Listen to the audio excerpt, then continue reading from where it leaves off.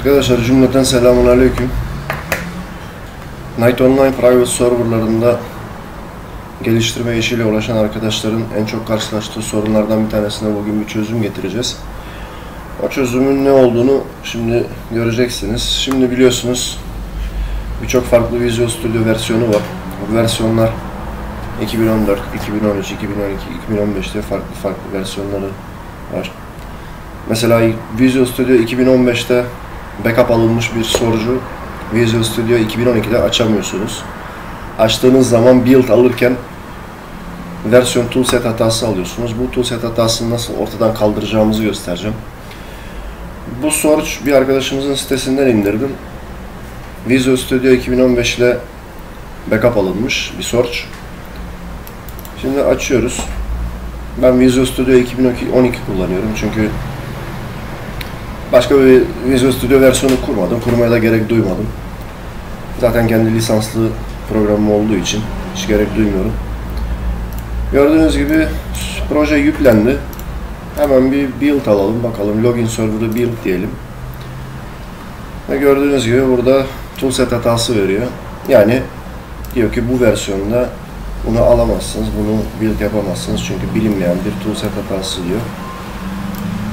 Çözümün ne olduğuna gelelim. Öncelikle bütün projeyi komple seçiyorsunuz bu şekilde. Ve Unload Project diyorsunuz. Unload Project dedikten sonra tek tek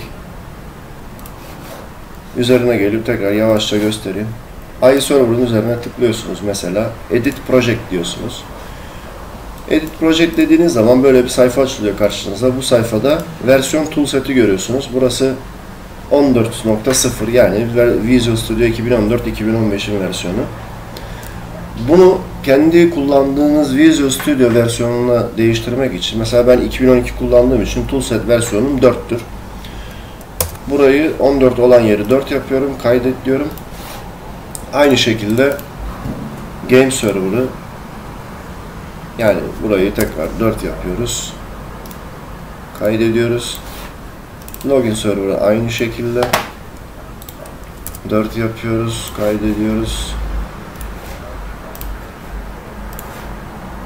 Burayı da 4 yapıyoruz. Kaydet diyoruz. En son shard dosyamızı editledik. 4'e çevirdik. Ve tekrardan projemizi CTRL tuşuna basıp seçiyoruz komple ve Reload Project diyoruz. Reload Project dedikten sonra işlemimiz bitti mi? Hayır bitmedi. Çünkü yine hata verir build almaya çalıştığımız zaman. Deneyelim bakın. Gördüğünüz gibi tekrardan hala aynı hatayı veriyor. Bunun için yapmamız gereken işlem projeleri tek tek üzerine sağ tıklayıp Properties diyoruz. Properties'dan Active Debug olan yazan yeri All Configuration seçip Platform Toolset yazan yerde gördüğünüz gibi bir versiyon görünmüyor. Buraya tıkladığınız zaman sizin bilgisayarınızda kurulu olan Visual Studio'nun versiyonu çıkacak. Otomatik olarak. Onu işaretliyorsunuz. Uygula diyorsunuz. Tamam diyorsunuz. Aynı şekilde aynı işlemi Game Server üzerine sağ tıklayıp Properties dedikten sonra buradan dediğim gibi seçiminizi yapıyorsunuz. Uygula tamam diyorsunuz. Bu işlemleri tek tek yapmanızda fayda var. Tek tek yaparsanız daha net bir sonuç alabilirsiniz. Bunu da yaptık. Sonra Lua üzerine tıkladık. Aynı seçimi burada yapıyoruz. Platformumuzu seçiyoruz. Uygula dedik. Tamam dedik. En son shard dosyamızı yapıyoruz.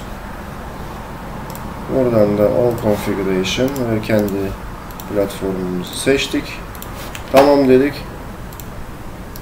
Şimdi bir deneme yapalım. Build dedik login serverımızı. Gördüğünüz gibi hiç hata vermeden build etmeye başladı. Gördüğünüz gibi yavaş yavaş hepsini derliyor dosyaları. Bu tür sorunlarla alakalı çözümleri sık sık YouTube kanalımdan paylaşacağım. YouTube kanalımda videonun altına yorum olarak sorununuzu yazarsanız sorununuza en kısa sürede çözümü videolu şekilde getirmeye çalışacağım. Ayrıca private server işiyle uğraşan arkadaşların kendi serverlarında karşılaştığı bazı hile, hurda, bug, açık, düpe yollarını nasıl kapatacaklarını göstereceğim. Zamanla bu videoları ayrı ayrı farklı zamanlarda paylaşacağım. Bunları yapmamın sebebi herhangi bir beklenti değildir. Tek beklentim videoya like atıp kanala abone olmanızdır. Private serverlarla uğraşan birçok arkadaşın biliyorsunuz neden uğraştığı bellidir. Maddi durumu yoktur. Şu anda piyasa 3-5 tane sunucu firmasının elinde ve bütün serverlar bu 3-5 kişinin serverları farklı isimlerle açıp duruyorlar. Ancak kendi kendine bir şeyler yapmaya çalışan maddi durumu olmayan arkadaşlar tabii ki bu insanlardan dosya kiralayamıyor. Ve kiralayamadıkları gibi kendi buldukları sorularda, kaynak kodlarında birçok sorunla karşılaşıyorlar. Sorunları da çözüm bulamıyorlar. Sordukları kişiler, danıştıkları kişiler yardım etmiyor. Bu arada gördüğünüz gibi sorunsuz şekilde build'ımızı aldık. Şimdi bütün projeyi komple bir build diyelim. Bakalım bir de bütün projeyi komple sorunsuz olarak build alacak mı? Dediğim gibi kimse kimseye yardım etmiyor bu piyasada. Ben burada elimden geldiği kadar kendi YouTube kanalımdan sorunları nasıl fixleyeceğinizi, sorunların kaynaklarının aslında nereden başladığını, database tarafı veya e, kaynak kodu, source taraflı nerelerde olduğunu göstereceğim. Nasıl düzelteceğinizi göstereceğim. Dediğim gibi tek beklentim videolara like atıp kanala abone olmanızdır. Bunun dışında hiçbir beklentim yok kimseden. Ben kendim zaten kendi adıma bir server geliştiriyorum. Marco Online olarak hem kendi serverımı açacağım. Zaten test serverları açıktı. Test serverlarımız bayağı bir ilgi gördü. Gelen katılan arkadaşlarımız sağ olsunlar. Yine de benim gibi yapmak isteyen arkadaşlara bu videolarla yardımcı olmayı düşünüyorum. Dediğim gibi hiçbir beklentim yok. Marco Online Facebook sayfasına da takipte olursanız çok memnun olurum. Genelde hiçbir paylaşım sitesinde takılmıyorum. Hiçbir forumda takılmıyorum. Forumlara sadece öyle ara sıra gezip göz atmak için, böyle bir bakmak için giriyorum. Ve gördüğüm şeyler hep aynı şeyler. Yani insanlar birbirlerinin sorularını alıp isimlerini değiştirip farklı versiyonlarda, farklı isimlerde pazarlamaya çalışıyor, satmaya çalışıyor. Ee, bu yüzden de Türkiye'deki private server piyasası gelişmiyor. Umarım bir şekilde benim gibi düşünen arkadaşlar illaki vardır. Bu şekilde bir yardımlaşma ortamı kurup herkesin belli gruplar halinde kendilerine bir ekip kurup dosya geliştirmeleri, database geliştirmeleri İnşallah düşündüğüm gibi olacak. Olmasa da ben dediğim gibi e, yardım amaçlı videolarımı çekmeye, paylaşmaya devam edeceğim. Sorunlarınız olduğu zaman dediğim gibi video altına yorum olarak yazarsınız. Ya da videoyu paylaşacağım e, forum sitesinde bana özel mesajla ulaşabilirsiniz, ulaşabilirsiniz.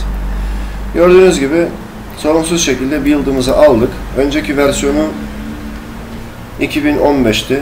Biz bunu 2012'ye çevirdik. Bu illaki 2012'ye bu şekilde çevrilecek diye bir şey yok. 2013 kullanıyorsanız Visual Studio'yu Visual Studio 2013'ün toolset versiyonuna göre aynı işlemleri yaparak çevirebilirsiniz. 2010'a dahi çevirebilirsiniz.